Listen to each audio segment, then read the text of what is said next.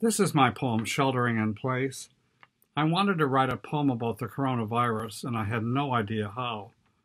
But I was passing by on my morning walks my neighbor's fence where morning glories are growing all over the fence. And she has a little sign out in front which says, Please take. So that inspired the poem, along with the fact that Adrian, my neighbor, is a nurse at Ochsner Hospital near my, near my house.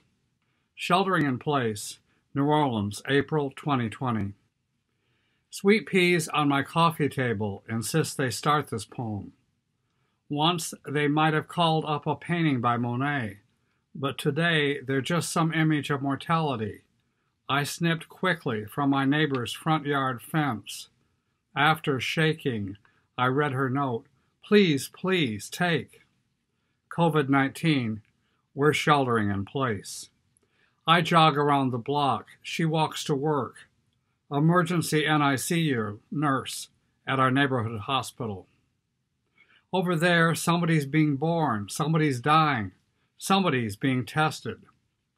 How much this minute I crave the sweet pea odor of transfiguration. Oh no, the cut flower scent is just rusted garden shears. I savor my sense of smell I'm well. I'm safe at home. Reader, help me tongue taste these flowers' hues piquant crimson, tart amethyst, honey ambers.